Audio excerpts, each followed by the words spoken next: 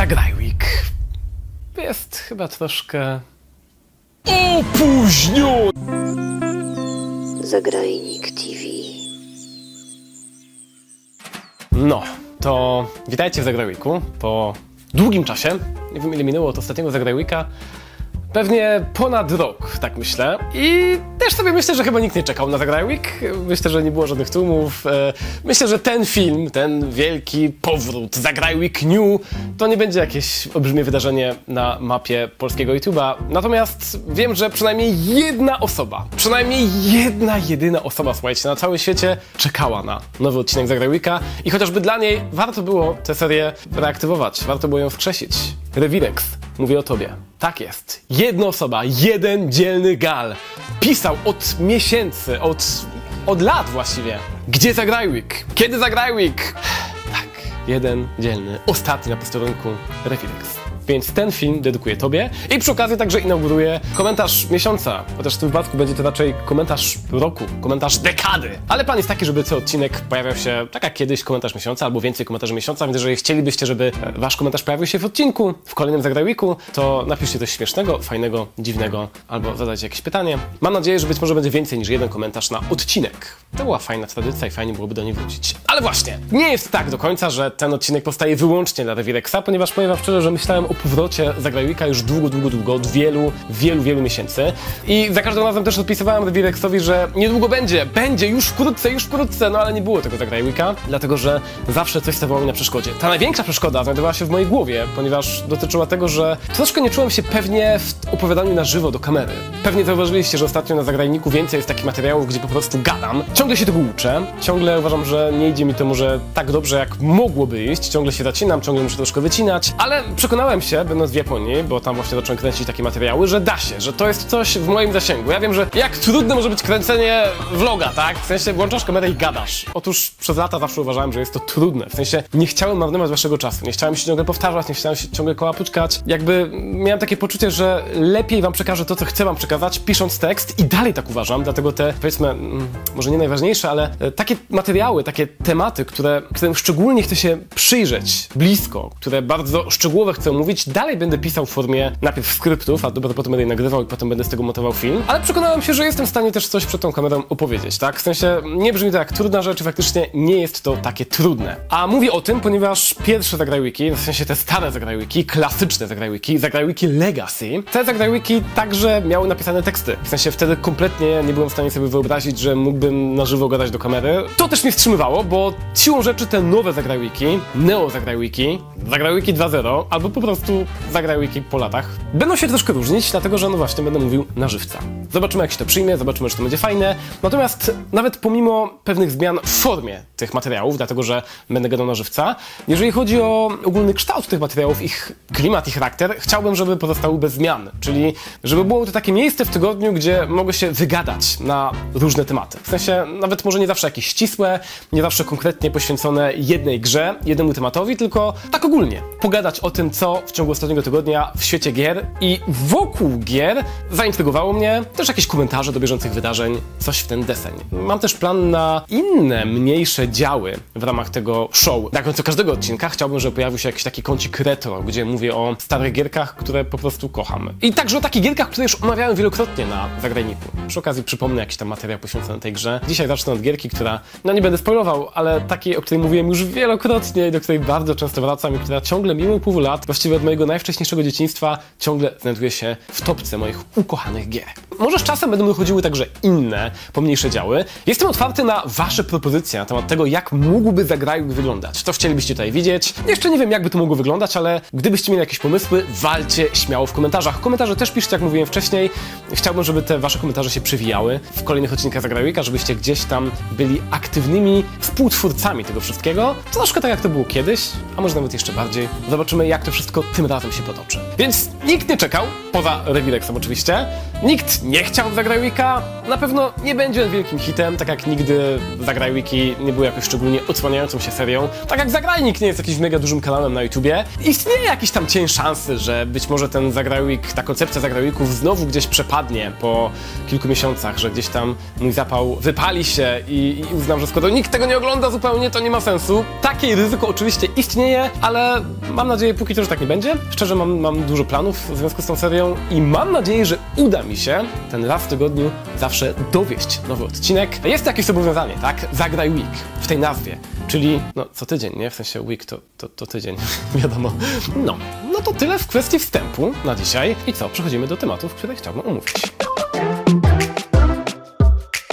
Ten odcinek ma sponsora, a jest nim wydawca gry Hawked. Czym jest Hawked? To zupełnie nowa gra sieciowa, która miała premierę 15 lutego tego roku. To extraction shooter, co oznacza miks elementów PvE i PvP. Celem graczy w grupach do trzech osób jest więc odnalezienie na olbrzymiej, pełnej tajemnic wyspie cennych artefaktów, zebranie ich przed innymi graczami, pokonanie ich, jeżeli staną nam na drodze, pokonanie także zagrażających nam zamieszkających wyspy jaszczurów, a następnie dotarcie do strefy ewakuacji, powrót z łupami do bezpiecznej bazy. Zdobyczne artefakty, dające najróżniejsze nowe moce i zdolności, można potem wykorzystywać, by zdobyć przewagę podczas kolejnych misji. Co wyróżnia Hawked? Kolorowa bajkowa oprawa, przyjemne tło fabularne, liczne mikrołamigłówki i wyzwania, które trzeba zaliczyć eksplorując wyspę oraz pełen polski dubbing. No i w końcu gra dostępna jest zupełnie za darmo, zarówno na Steamie, jak i na konsolach, gdzie dodatkowo nie wymaga aktywnego PS Plusa czy Game Passa. Ale posiadając aktywnego PS Plusa otrzymacie specjalne nagrody na start. Od 15 lutego do 7 marca, oglądając na Twitchu live z gry, będzie można otrzymywać dropsy, zaś na oficjalnej stronie gry już teraz zaczęło się wielkie rozdawnictwo. Nagrodami są m.in.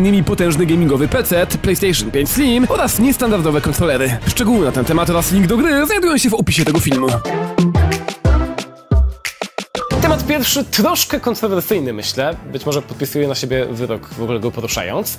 I troszkę też już nie najnowszy, ponieważ ta wypowiedź, o której dzisiaj będę mówił, miała miejsce już z tydzień albo nawet dwa tygodnie temu. Chciałem wcześniej się do tego odnieść, chciałem zrobić jakiś materiał, ale jakoś tak mi to umknęło, robiłem inne rzeczy, a poza tym miałem takie poczucie, że chyba nie chcę dokładać kolejnej cegiełki do tej bardzo zaognionej dyskusji. Zwłaszcza, że no właśnie mam troszkę inne zdanie niż większość osób. Chodzi mianowicie o wypowiedź dyrektora do spraw subskrypcji z Ubisoftu, niejakiego Christophera Dringa, którego wypowiedź utrzymana była mniej więcej w takim duchu, że gracze powinni przyzwyczaić się do nieposiadania gier. Tę wypowiedź widzicie pewnie gdzieś tutaj na ekranie. Ona nie była taka znowu długa. Większość mediów w Polsce i generalnie mediów komentuje tylko wyrywki tej wypowiedzi, które są najbardziej mięsiste i które utrzymane są w tym właśnie duchu, tak? Że gracze mają gier nie posiadać. I tak, mam takie poczucie, ale proszę się na mnie nie gniewać, że troszkę wypowiedź Christophera została naciągnięta pod tezę. Oczywiście tutaj padło kilka takich stwierdzeń, że gracze rzeczywiście powinni się przyzwyczajać i że muszą nastąpić pewne zmiany w tym kierunku, w kierunku nieposiadania gier. Właściwie to mogę wam to nawet dokładnie zacytować, czekajcie. Jest to zmiana, która musi nastąpić. To pierwsze zdanie, a niedługo później jest... Chodzi więc o to, żeby czuć się komfortowo z nieposiadaniem swojej gry. Po drodze jest jeszcze parę innych zdań, ale te dwa nadają całej tej wypowiedzi taki właśnie złowieszczy ton, że ta zmiana musi nastąpić, że gracze muszą odzwyczaić się od posiadania gier, no i właśnie przyzwyczaić do gier nieposiadania. Brzmi to złowieszczo, ale mam poczucie, że jednak wtedy, kiedy wyrwie się te fragmenty wypowiedzi z kontekstu. Bo na początku Christopher po prostu stwierdza, że ta zmiana już nastąpiła w dużej mierze. Jakby ten fragment jest przytaczany, ale często nikt się do niego nie odnosi, tak? Mianowicie Christopher mówi o tym, że krajobraz branży się zmienił. I wiemy, co ma na myśli, że gracze kupują więcej gier cyfrowych niż fizycznych, że abonamenty growe są popularne, no i to jest fakt. Gracze zadecydowali portfelami, że właśnie takie formy sprzedaży gier, w cudzysłowie, są najbardziej popularne. A skoro tak, to na przestrzeni lat wielu mniejszych wydawców, wielu mniejszych twórców rezygnowało z wydawania swoich gier w formie fizycznej i wydawali je wyłącznie cyfrowo, co wiązało się ze znacznie, znacznie mniejszymi kosztami. Dzisiaj jest to już normą, że indyki właściwie nie są wydawane inaczej niż w formie cyfrowej. I właśnie mam wrażenie, że ta wypowiedź jest trzymana w takim duchu komentowania bieżącej rzeczywistości i tego, co można zrobić, żeby w obecnej chwili, w stanie takim, jaki jest, gracze poczuli się lepiej. Nastąpiły już te zmiany, gry są sprzedawane w sposób cyfrowy, czyli nie do końca gracze je posiadają, a tak naprawdę wynajmują na czas nieokreślony. Gracze mają abonamenty, czyli wtedy tych gier w ogóle nie posiadają. Gracze korzystają z chmury, gdzie nawet nie mają już peceta, na którym grają, jakieś maszyny, tylko wszystko dzieje się gdzieś po stronie usługodawcy. To wszystko się dzieje, to wszystko jest i budzi to oczywiście u wielu graczy, u wielu osób uzasadnione obawy. Czują niepokój w związku z tym, w jakim kierunku pójdzie branża, czy moje gry kiedyś wszystkie przepadną, czy będziemy kiedyś niewolnikami wydawców. Pojawiają się takie głosy, ludzie są niepewni. I mam poczucie właśnie, że ta wypowiedź odnosi się do tej niepewności. To nastąpiło i co zrobić, żeby gracze poczuli się komfortowo z tym faktem, który i tak już nastąpił. To nie jest tak, że ten gościu tutaj kreuje rzeczywistość, w której nagle Ubisoft spowoduje, że nie będziemy mieć swoich gier. My ich już nie mamy od dawna, na własne życzenie. Nikt nas do tego nie zmusił. Jakby kupujemy te gry, bo jest to tanie, bo jest to wygodne, bo dzięki temu mamy je w ciągu kilku chwil, po kliknięciu ściągnij, one są grywalne w ciągu dosłownie często paru minut. Więc jakby my sami weszliśmy do tego świata, sami go wykreowaliśmy. I teraz pada pytanie, co zrobić, żeby gracze poczuli się z tym komfortowo. Ten pracownik Ubisoftu, także przez fakt, że no, jest dyrektorem do spraw subskrypcji, wskazuje, czemu uważa subskrypcję za fajną rzecz, tak? No, skoro jest dyrektorem do spraw subskrypcji, to spodziewałbym się, że będzie raczej chwalił te subskrypcje, tak? Ma je sprzedać. Więc to, że pokazuje je w samych superlatywach, no jakby nie jest niczym dziwnym. Natomiast nie widzę, szczerze powiedziawszy, nie widzę w tej krótkiej wypowiedzi, nie widzę żadnych złowieszczych intencji. Nie widzę tego, że Ubisoft chce nam coś zabrać. Sami sobie to zabraliśmy już dawno temu, na własne życzenie. I pytanie brzmi, czy to faktycznie jest aż takie złe? W sensie widzę wszystkie zagrożenia związane z faktem, że nie posiadamy gier fizycznie, tak? To ryzyko, że kiedyś cała nasza biblioteka przepadnie. Jakby wiele kwestii z tym związanych. Brak rynku wtórnego. To także jest ta rzecz, którą sami sobie zabraliśmy w ten sposób. No ale jednocześnie są też plusy tego rozwiązania, tak? Wszystko ma wady i zalety. Gry w formie cyfrowej i subskrypcje mają dużo zalet i mają też wady. I gry fizyczne także mają zalety i mają też wady. Jedną z wad jest to, że trzeba pójść do sklepu, kupić to. Ktoś powie, no ale co to za wady? Okej, okay, ale chyba jednak większość graczy uznała to za wady i dlatego decydują się od dawien, dawien dawna kupować gry w formie cyfrowej. Ja pamiętam jeszcze czasy, tak jestem tak stary, kiedy wchodził Steam i wszyscy pukali się po głowach, mówiąc, to nie ma szans w ogóle się udać, tak? Niby jak? Jak? Będę czekał dwa tygodnie, aż gra się pobierze? Pff, to głupie. Gry fizyczne są niezagrożone. Taki panował klimat w czasie, kiedy Steam wchodził na rynek. Wtedy jeszcze nie było wiadomo, że Steam przeistoczy się w największy sklep. Wtedy była to usługa stricte poświęcona grom Valve, ale nawet fakt, że mamy ściągać grę od Valve przez ileś tam czasu, przez ileś długich dni, bo tak wolne były wtedy łącza, wydawał się głupi i nikomu się nie śniło, że tak bardzo zwiększą się przepustowości łącz domowych. No i na przestrzeni lat okazało się, że jednak Valve miał rację, bo ludzie stopniowo, stopniowo wybierali zamiast kupowania gier w pudełkach tę wygodniejszą opcję, coraz wygodniejszą opcję kupowania gier cyfrowo. Dlatego krajobraz się zmienił. Ale jednocześnie nie jest tak, że zmienił się wszędzie i że, i że nie ma już gier fizycznych, nie? Wiadomo, są konsole, słuchajcie. Na Switchu większość gier jest wydawana w formie pudełkowej i jakby możemy to pudełko kupić, jest wprawdzie troszkę droższe, gdy na Switcha są troszkę droższe. Jednocześnie ludzie narzekają na to, że są droższe, ale między innymi dlatego właśnie, że są wydawane pudełkowo. I ten koszt jest też przeniesiony na te wydania cyfrowe. Ktoś pewnie powie, że no tak, ale Switch to nawet nie jest konsola, jest przestarzała i te gierki są dla dzieci, kolorowe i w ogóle żal. Oczywiście tak troszkę jest, w sensie są kolorowe i konsolka jest przestarzała, ale jednocześnie jest to też ciągle bastion fizyczności w świecie gier. W mojej opinii, jeżeli ktoś czuje się źle z tym, jak wygląda obecnie krajobraz gier cyfrowych i subskrypcyjnych, jakie wiążą się z tym zagrożenia, no to najlepiej, żeby takie osoby dla własnego komfortu psychicznego po prostu odpuściły sobie takie gry i przeniosły się do świata, gdzie cały czas są zachowane te klasyczne zasady sprzedaży gier. Więc ten wybór istnieje. To nie jest tak, że wszyscy muszą koniecznie kupować gry cyfrowe, że muszą koniecznie wykupować usługi abonamentowe. Zawsze jest gdzieś dostępna konsola, która daje możliwość zakupu gier fizycznie. Nie tylko Switch, ale także PlayStation. I myślę, że akurat w świecie konsol jeszcze długo, długo ta sytuacja się nie zmieni, tak? Bo rynek wtórny ma się dobrze, bo gracze tam są bardzo przyzwyczajeni do gier fizycznych i ciągle bardzo dużo tych gier w formie fizycznej kupują. Podsumowując, widzę wszelkie zagrożenia związane z usługami subskrypcyjnymi i z cyfrową sprzedażą gier. Nie zagłębiam się w ten temat aż tak, bo uważam, że wiele innych osób totalnie go wyczerpało i, i też nie jest to przedmiotem do końca tych dzisiejszych rozważań. Natomiast zmierzam do tego, że mam takie poczucie, że troszkę być może na potrzeby klikalnych e, tytułów, klikalnych nagłówków, ta wypowiedź pracownika Ubisoftu została troszkę przeinaczona pod tezę, tak? Troszkę podciągnięta pod tezę, bo oczywiście zawsze mm, dobrze brzmi grillowanie Ubisoftu, zawsze dobrze jest pokrytykować chciwych wydawców, którzy chcą zniszczyć zniszczyć branżę gier. No a tymczasem mam takie poczucie, że jeszcze nigdy w branży gier nie było tak dobrze, pod tym względem, że nigdy nie było tak wielkiego wyboru. Kto chce grać w formie subskrypcji? Może. Kto chce grać w formie chmury? Może. Kto chce grać w formie fizycznej? Może. Kto chce grać w indyki? Może. Kto chce grać w gry AAA? Może. Jest nieskończenie wiele różnych opcji dla graczy. Nigdy nie było ich tak wiele i oczywiście nie są one wszędzie tak łatwo dostępne. No na przykład nie w każdą grę AAA zagramy na Switchu. No ale też nie musimy grać w każdą grę AAA. Nie jest żaden wymóg. Nawet jeżeli nam się podoba, no to jeżeli czujemy się nieswojo z faktem, że jest ona sprzedawana w taki, a nie inny sposób, to chyba lepiej sobie z tym odpuścić i spróbować przekonać się do gry, która jest 100% fizyczna, na przykład do Mario. Ale są też inne gry na Switcha, nie tylko Mario. Też polecam Mario, bo jest mega dobry. Ja wiem, że i tak jestem już postrzegany jako mega entuzjasta i w ogóle dzisiaj jeszcze stałem się adwokatem wielkich wydawców i stałem się miłośnikiem Ubisoftu. Ech, wcale tak nie czuję. Ja po prostu uważam, że branża gier ma się dobrze, że nigdy nie było tak wielkiego wyboru, że dawno nie było tak wielu dobrych gier, także sprzedawanych w tak różnych formach, tak? W sensie dla każdego coś miłego. Dla fanów klasycznej sprzedaży, dla fanów gier usług. A przecież naprawdę nie trzeba grać we wszystko. I w ten oto sposób kończę, troszkę wbrew wszystkim. Wcale nie mówię tego po to, żeby się wyróżnić moją opinią. To też nie jest tak, że opinia zagrajnika jakoś idzie mega daleko w świat. Po prostu tak uważam. Być może się mylę, jakby historia pokaże, w jakim kierunku to pójdzie, bo może się okazać faktycznie, że za dwa lata ujawnią się mroczne plany Ubisoftu, które będą dążyć do tego, żeby nas zniewolić. Póki co każdy ma jakąś tam swoją opinię i do dzielenia się swoimi opiniami was właśnie zachęcam w sposób możliwie jak najbardziej kulturalny, bo to tylko gierki są, no i ciągle cały czas mamy wybory, więc myślę, że nie ma co aż tak bardzo się pieklić. I do tego Was zachęcam do kulturalnej dyskusji w komentarzach na ten właśnie temat. Co myślicie o tej wypowiedzi pracownika Ubisoftu i co myślicie o przyszłości gier? No i przede wszystkim tak szczerze, w jakie gry najczęściej wygracie? W formie cyfrowej czy w formie fizycznej? Chyba jeszcze zrobię na ten temat ankietę na zagrajniku. Tak, tak, zrobię ankietę dzisiaj, tuż po tym, jak skończę nagrywać ten materiał. Może uda mi się jeszcze zamieścić w tym filmie, może zdążę. Zobaczmy. Troszkę się rozgadałem w tym poprzednim temacie, więc teraz dużo szybciej. Mianowicie spójrzcie sobie na to. Znajoma była w Japonii i wysłała mi taki oto świetny filmik.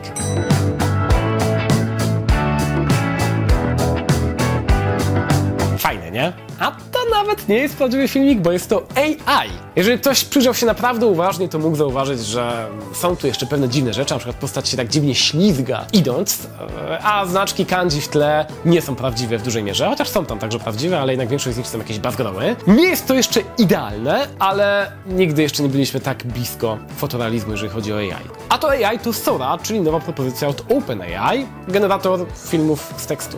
Całości z tekstu. Wystarczy tylko wpisać prompt i pojawiają się najróżniejsze rzeczy. Najważniejsze jest to, jak dobrze to wygląda. Nawet jeżeli nie jest idealne, to w porównaniu do tego, co było wcześniej, na przykład Pika, czy poprzednich, jeszcze sprzed roku, narzędzie AI tworzących filmy wyłącznie z tekstu, jest to, w mojej opinii, przeskok o kilka tysięcy procent. Wieszczyłem to jakiś czas temu w moim filmie o AI, że już niedługo będą całe vlogi, sztuczne vlogi, robione przez sztucznych ludzi z dowolnych miejsc na świecie i nikt nie połapie się, że to jest AI. Będą w mojej opinii, całe kanały na YouTubie podróżnicze, gdzie nikt nie podróżuje, nawet ten ktoś nie istnieje i gada z ludźmi, którzy też nie istnieją i pokazuje przygody, które się nie wydarzyły, a ludzie będą to oglądać, jakby to było prawdziwe. Tak, taka czeka nas przyszłość. Już niedługo, chociaż przyznam szczerze, że kiedy rok temu o tym mówiłem, to nie sądziłem, że aż tak szybko się to wydarzy, ale patrząc na to, jakie daje możliwości Sora od OpenAI, myślę, że jesteśmy już tego bardzo blisko. A mówię o tym dzisiaj w Zagraj Weeku, w serii na Zagrajniku, kanale poświęconym grom, dlatego, że uważam, że to będzie miało także przełożenie na gry komputerowe. W sensie, wyobraźcie sobie, że AI będzie w stanie tworzyć tego typu fotorealistyczny obraz w czasie rzeczywistym i będzie reagować na nasze komendy, czyli na to, jakie guziki klikamy, czyli na to, jak wychylamy gałkę analogową. Mówiąc krótko, gra będzie generowana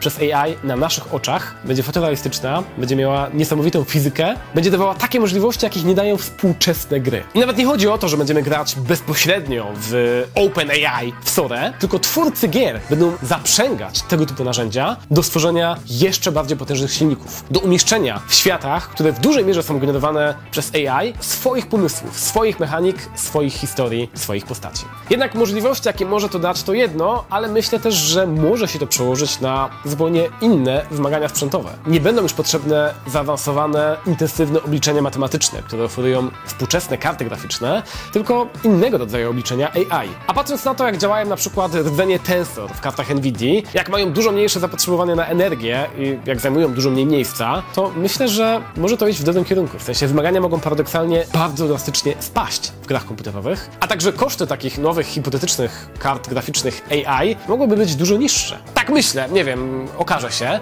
ale naprawdę jestem pełen nadziei. Jestem też ogromnie podekscytowany, patrząc na to, jak szybko następuje ten postęp w dziedzinie AI. Znowu, oczywiście AI to także różne zagrożenia i niekoniecznie wszystko musi potoczyć się dobrze, ale ja jednak wolę patrzeć na to wszystko hmm, optymistycznie. Nawet jeżeli jednocześnie sporo osób będzie musiało się przebranżowić, w tym także, myślę, w końcu youtuberzy, bo naprawdę jesteśmy blisko tego, żeby byli youtuberzy AI, którzy totalnie wymiotą takich zwyczajnych, bo będą mogli dawać dużo więcej kontentu, będzie ich dużo więcej, będą mogli robić szalone rzeczy, takie jakie tylko AI może robić. Wiecie, mogą wygenerować dowolny obraz. Więc myślę, że także youtuberzy kiedyś stracą pracę przez AI i także wielu innych ludzi, grafików, filmowców. Te branże się zmienią, to są pewne zagrożenia. Sam jestem w tej branży, w tej grupie ludzi zagrożonych, tak sobie myślę. No ale świat się zmienia i będzie się zmieniał i jakby biadolenia ten temat nic nie zmieni, trzeba się po prostu dostosować i mieć nadzieję, że będzie dobrze w tej kwestii. A widzę także mnóstwo, mnóstwo pozytywów, jakie mogą się wiązać z rozwojem AI. Naprawdę czekam na te mega turbo fotorealistyczne gierki robione ze wsparciem AI. No i jaka gra retro może być tą pierwszą w nowym Zagraj Weeku? Oczywiście musi to być jedna z najważniejszych gier mojego dzieciństwa, czyli Settlers 4. Tak, to jest ta gra, która nigdy mi się nie znudzi, uwielbiam do niej wracać. Wielokrotnie mówiłem, że mniej więcej raz do roku robię sobie taki długi, długi seans z Settlersami. Niedługo zbliża się czas, że znowu będę musiał zagrać. Jest to gra, którą uwielbiam nie bez powodu. W mojej opinii to najlepsze Settlesy. Ja wiem, że ludzie dzielą się na tych, którzy wolą jedynkę i dwójkę i na tych, którzy wolą trójkę i czwórkę. Ja jestem tej drugiej grupie, doceniam także te poprzednie części, ale dla mnie trójka i czwórka właśnie bez budowania dróg to są te najfajniejsze części. Właściwie czwórka to jest takie 3,5, bo rozwija ona pomysły i koncepcje z poprzedniej części, ale no właśnie, doprowadza je w większości do ideału. Ma na myśli właśnie głównie ten brak dróg, który został zastąpiony systemem priorytetów, ponieważ teraz osadnicy sami wiedzą, gdzie iść, sami wynajdują ścieżkę i sami transportują towary z punktu A do punktu B. Natomiast nasza decyzyjność w tej kwestii sprowadza się do nadawaniu priorytetów poszczególnym rzeczom. W sensie, jeżeli potrzebujemy, żeby nagle pilnie były dostarczone gdzieś deski, a widzimy, że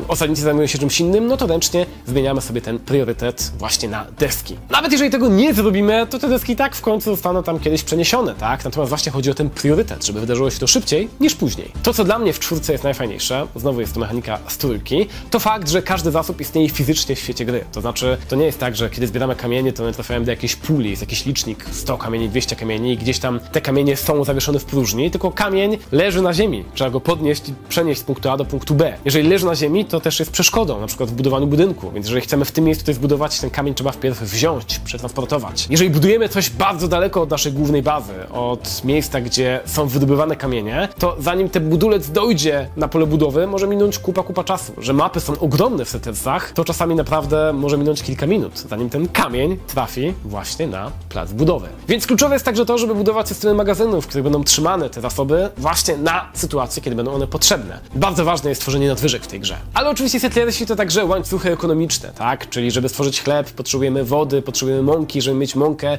potrzebujemy ziaren. No a chleb potrzebny jest po to, żeby górnik w kopalni węgla pracował, tak? Potrzebuje jedzenia, a w szczególności upodoba sobie chleb. Takich łańcuchów jest dużo więcej, więc mimo tego, że gra nie jest jakoś strasznie skomplikowana, przesadnie skomplikowana, jest wręcz mega przyjazna dla początkujących, no to jednak zawsze musimy gdzieś główkować, zawsze jakiś łańcuch przestanie działać, zawsze gdzieś coś się zapcha, a my ciągle mamy coś do roboty. Uwielbiam to, jak w tej grze na początku nasza osada jest malutka i nic się w niej nie dzieje, a po kilku godzinach jest olbrzymia i po prostu kotłują się te setki małych chłopków, każdy gdzieś idzie w swoim celu. Widzimy ten gwar, to wygląda jak jeden wielki ul. To jest nagroda dla nas za, za grę. Dążę zawsze do tego, żeby zobaczyć ten widok, żeby zobaczyć tę olbrzymią wioskę, w której tyle się dzieje. Uważam, że Settlers 4 to jest też taka gra, która właściwie nie postarzała się pod względem oprawy. W sensie dalej jest śliczna. Spójrzcie tylko na nią, tak? Wręcz dzisiaj powstają gry, które wyglądają w taki sposób, które próbują naśladować gry z tamtej epoki. I Settlersi w ogóle się nie postarzali. Wszystkie elementy są pięknie animowane. Każdy obiekt jest wymodelowany z największą dbałością. Wygląda to przepięknie. Świetna jest muzyka i jest mnóstwo zawartości. Poza tym, że mamy kilka długich kampanii, to mamy jeszcze masę pojedynczych map do szybkich scenariuszy i bardzo udany generator map losowych. Jest jeszcze edytor, więc właściwie